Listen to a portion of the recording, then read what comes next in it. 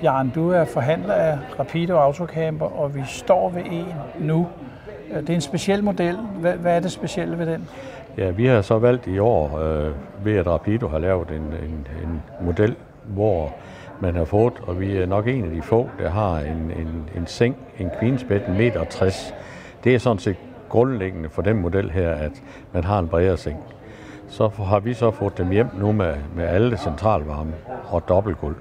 Og det vil så sige, at øh, vi har vandboren varme over det hele, ligesom man kender fra nogle typer campingvogne. Og øh, øh, den er utrolig populær.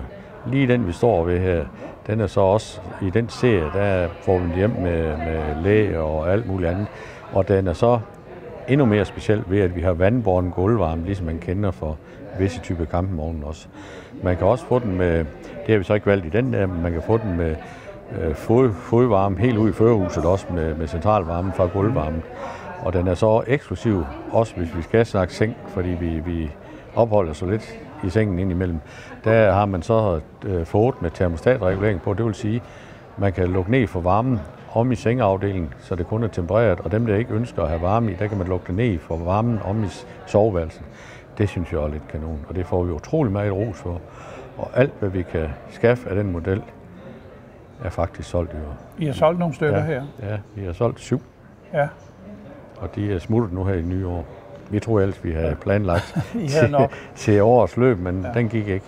Men, men det, den vinder utrolig indpas i Danmark PT. Er det på grund af den rigtig brede seng og så øh, centralvarmen? Det tror jeg, det er noget... Altså, Rapido har jo altid været det, god. Det, den det, har altid været en god vogn, fordi ja. det er glasfiber det hele. Ja. Men, men det, det nok er, er, er, er mostet lige nu, det er, at, at, at du har en, en seng, i stedet ja. for enkelt senge, ja. så kan man stadigvæk ligge og holde i hånd, ja. og, og så få en bred seng i stedet for 41 61. Ja. Det tror jeg, den, den, den, den har slået rimelig igennem i hele, ja, i hele Europa faktisk. Ja.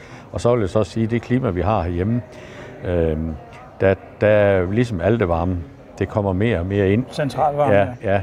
ja. Ikke fordi der anden varme ikke kan varme, men, men der kan du så få gulvvarme.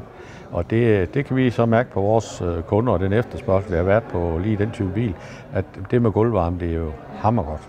Er det fordi, de vil bruge vognen en stor del af året, eller bare for at have den Nej, jeg tror, jeg tror, at de mennesker, der køber sådan en, et, et køretøj, øh, de, de vil bruge den hele året.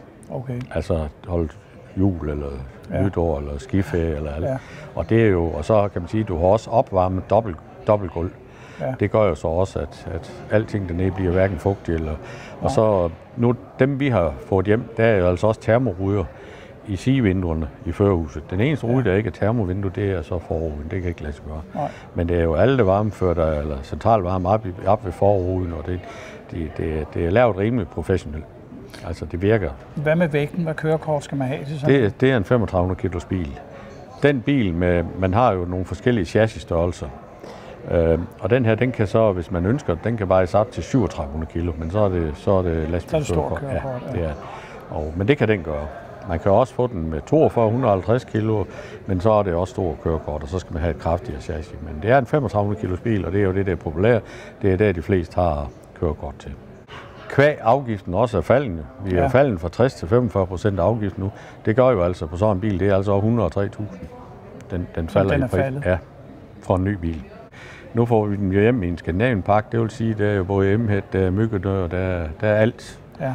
Øh, jeg synes selv, det er en mega flot bil. Det, og det har vores kunder jo også gjort ved, at Ja, siden at, de har købt dem. Ja, de står næsten i kø for at få lov til at købe dem. Man kan sige, det var en streg i regningen, at alle bilerne blev solgt. Faktisk. Men man kan godt bestille, og så får man dem. Men så det bliver, bliver efter sommerferie, det bliver 19 modeller. Så bliver det 19 modeller. Det bliver 19 modeller. Ja. Og den model, den kører videre, fordi den er så populær i hele, hele Europa for, for Rapido. Ja. Og øh, der tror jeg, vi har ramt rigtigt det, folk gerne vil have. Og øh, du har jo fået en mega C-gruppe i den. Et ja. dejligt køkken. Du kan, fordi der er jo to ting, man nok sætter lidt pris på, det er, at du ser godt, når du kører. Du vil også se behageligt, når du holder stille. Ja. Du vil have en ordentlig salon, hvor du kan være i. Du vil også have et ordentligt bageværelse, toilet, mm. og så vil du også have en dejlig seng og, og, og tilbringe natten i. Og det form, alt det hele formingen her, selv det, og, og selve C-gruppen, den er jo kanon, og der er sæler til fire personer, og der er med sæler, så du vender ansigtet øh, med kørselsretning. Ja. Der, der er sædeplads i højre, der er en sædeplads i venstre side, som ikke kan sætte gnide op og ned hinanden, og det er trepunkt sele i bag. Jeg kan se, at der er stor garage. Hvad, ja. hvad betyder det? Jamen det betyder det jo det folk, at man kan have cyklen stående ind. Den har så et plus mere, at man kan jo hæve og sænke sengen. Hvis man vil have store cykler med, så kan man hæve sengen. Det kan man, og det sker elektrisk fra bagagerummet. Og det, der er så en betjening ude, man kan køre bagagerummet op og ned. Og også stor plus Rapido har, det er, at de jo efter, der er ikke noget træ i sådan en bil. Det er intet træ i. Selve bunden, den der ligger ud mod, mod vognbanen, kan man sige, det er jo glasfiber også, og der, der er Rapido kanon stærk. Nu siger du, der ikke er noget træ i, men jeg kan jo se træ ja, på væggene. Ja, jamen det er så ikke det, der kan suge fugt, som mange har. Okay, i selve Måske opbygningen? Nu. Ja, der okay. sigerne, der er intet træ. Nej, okay. Øh, og det er jo så også øh, lidt godt gået, at det er godt for det man, man, man, man når, får jo ikke de der fugt ting. Det kender vi slet ikke, så Nej. det er overhovedet ikke. Øh. Så Rapido er sagen, vil du sige? Ja, altså det, det mener vi jo, det er altså, det er jo ikke kun fordi vi sælger dem, men det er jo en kvalitetsbil, og det er jo også derfor problemet er, at vi kan ikke få alle dem, der kan sælges generelt. Nej. Øh, det er jo hele Europa, der ikke kan få de biler, de gerne vil. Og det må jo være fordi, at, at den ligger nummer et i Frankrig, øh, mm. har lagt nummer et i Norge også. Øh, ja.